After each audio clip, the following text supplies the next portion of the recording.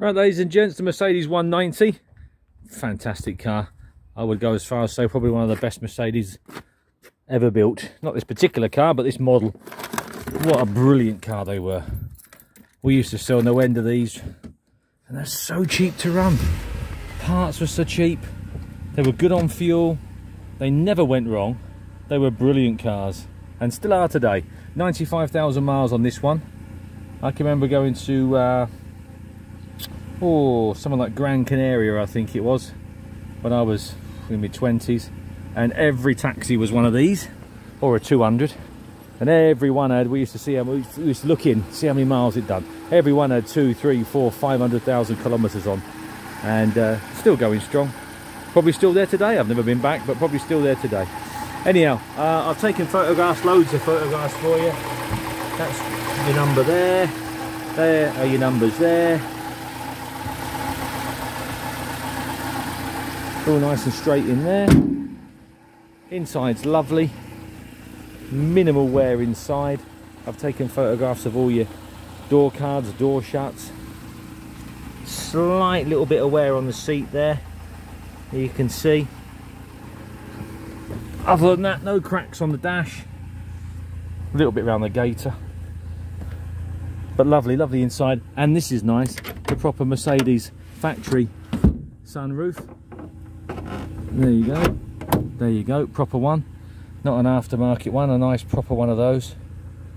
Yeah nice inside.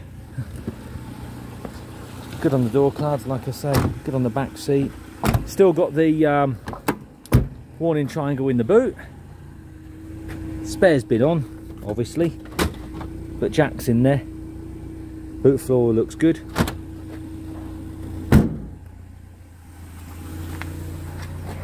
nice to see the original first aid kit in there as well. But they were a good car.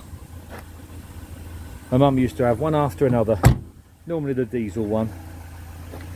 I had a couple of 1.8 petrols. Had a two litre diesel one. Well she was steady but um, it never went wrong.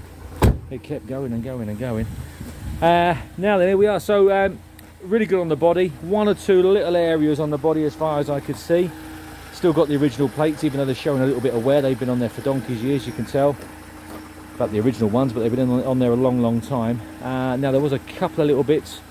On a positive note no damage as such on the grill. A little bit there. It's a little ding in there. You normally see a little bit like a, um, a rover p5 grill. Always got a ding other than that real straight round the body.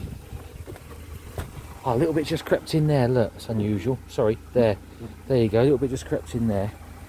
And there was a little bit I think around the aerial hole. Wants a new aerial anyway? That's broken off. A little bit around there obviously where they've drilled it for the aerial hole.